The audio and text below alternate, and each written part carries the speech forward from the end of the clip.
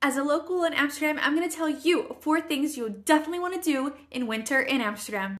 Get some oliebollen. They are fried dough, powdered with sugar if you want, and there are a ton of different varieties. Go ice skating if you dare at Museumplein right by the Rijksmuseum.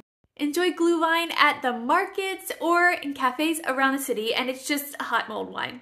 Finally, check out the Amsterdam Light Festival and follow for more Amsterdam tips.